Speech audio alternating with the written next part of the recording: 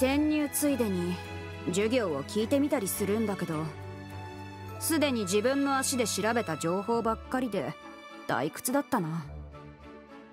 いっそ私が先生をやった方が良かったりして。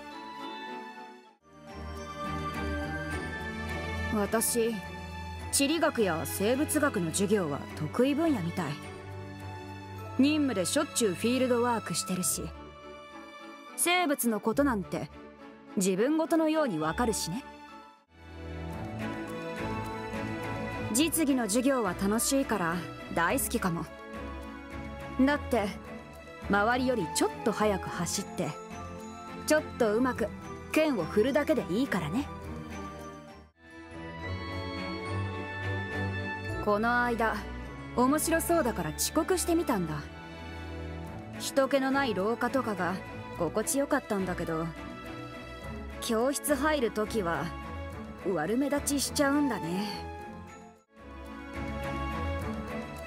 偵察任務中に気づいたんだけど制服って地域とか学園によってデザインが違うんだね。校風や地域の特徴が現れてる感じなのかな。